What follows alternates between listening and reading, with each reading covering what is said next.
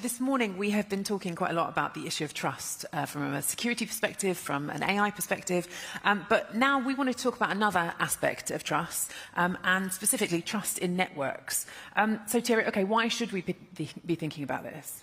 Okay, so maybe I should start by uh, talking about Nokia. I think everybody knows Nokia. And um, how many of you had Nokia phones at some point? All right. But you may be surprised, or maybe you know that we don't make phones anymore. We built networks. We really built the world's infrastructure, communication networks, whether it's your broadband at home, your wireless network, your data center networks, your inter-data center connects, your IP optical networks. And I think networks are just foundational to everything we do today. And um, I think the world would not would stop without networks. And if you think back at COVID, imagine COVID had happened 10 years ago, 15 years ago. How do we have done working from home, schooling from home without networks? And I think it's the one of one of the foundational technologies that everybody needs every day, relies on it, but it's kind of hidden. Mm. We don't see it. We see our phones, but we don't really see the networks. But just imagine your life without networks during COVID.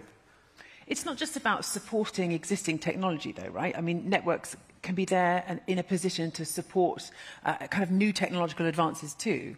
Yeah, absolutely. I think, um, particularly when you think about AI, AI lives on data. Mm. And how do you collect the data? How do you bring the data to these AI algorithms? You do need networks. And we absolutely believe that without networks and communication technologies, the AI revolution is not going to happen, is not going to happen at that scale because we need to really interconnect all the points where we collect the data, bring that data together, make the intelligent decisions, and then distribute that, that decision back into, into the system. Um, and that's from the consumer perspective, but very much also from an enterprise industrial perspective. So when we think about the fourth or fifth industrial revolution, uh, and the digitalization of industries that rides on networking, AI, cloud computing, and, and, these future technologies. But networks is the basic foundational technology for everything. So, what does it mean to have trust in networks? What, what, the, what are the particular issues that, that concern you? So, I think trust, I would say, has two aspects to it. The first one is obviously we need to trust that the network delivers data in a secure way. I think we talk a lot about the safety, security of our data, the privacy of our data. So that's the first part. The networks cannot become uh, entry points into your data uh, from a security, cyber hacking perspective. But the other part is uh, the network has to perform. You have to trust the performance of the network. Uh, especially when you think about en enterprise industrial applications and mission critical applications. Imagine you run a factory operation on a network you cannot afford for that production to stop. So the performance, the underlying resilience and reliability of the network has to be there. So trust is both on preserving your data and preserving the integrity of the data as well as pre preserving the integrity and the resilience of the network performance itself. Okay, so how hard is it then to, to build a, a robust, reliable network? Well, I think everybody probably drove home at some point and said, uh, my call dropped. So it sounds easy, and I've I remember seeing a joke. It was like uh, pigeons sitting on a wire, and then there's another picture where pigeons, there's no wire, and one pigeon says to the other, How hard can it be not to put a wire in? It's wireless. Um, so I think it's really, really hard. And it's hard because um, there's so many in, uh, elements that need to work together in the network. Networks today are becoming very, very complex, have a lot of intertwined elements. And even if one element is 90% reliable, if you put it to another element that's also 90% reliable, the two together are not 90% reliable. They're actually only 81% reliable. So as the system becomes complex, you need to really make sure end to end you have that resilience and that network uh, performance. I seem to remember seeing another cartoon that said you can build a network on the moon, and yet I, I can't continue on my call on the way home. yeah, absolutely. As you, you know, and some of you may know, we're, we're putting a cellular network on the moon very, uh, very soon. And uh, there's a lot of excitement about us putting a network on the moon, but there's some people saying, well, you build a network on the moon, how about you build one that works in my backyard? Um, that is not necessarily a Nokia question, that is also a service provider question of how much do you build out your network performance. But yeah, this is really hard. And um, our communication networks are built for what we call five nines of reliability, which really means 99.999% reliable. But if you think about it, that sounds super reliable. Mm. But if you look at how many minutes are in a year, it's over half a million minutes per year. Mm. And that 0.001% that is the difference between the five nines and 100%, that is still over 500 minutes. Yeah.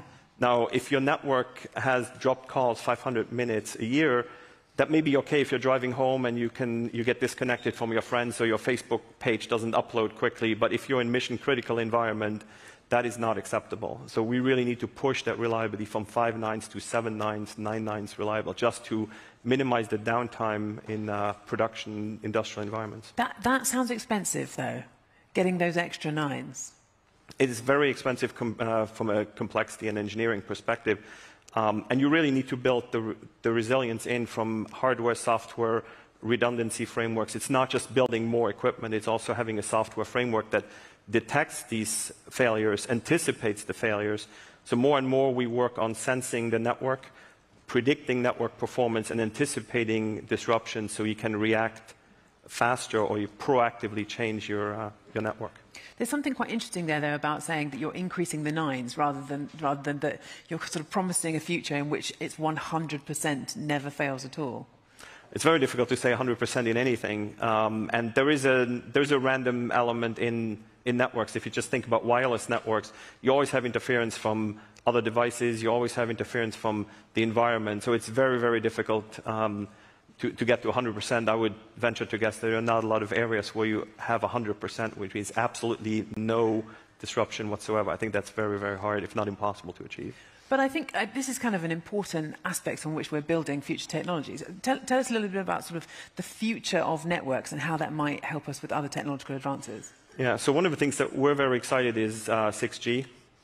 We're still deploying 5G, but the research uh, and in, in, Nokia Bell Labs, we, we started the research on uh, 6G already four years back. 6G will be coming at the beginning of the 2030s. And one of the aspects about 6G, it's not just about increased capacity and higher throughputs and so forth, but one of the elements that's very interesting is bringing sensing capabilities into the network itself. So having the same technology for your communication as well as your sensing.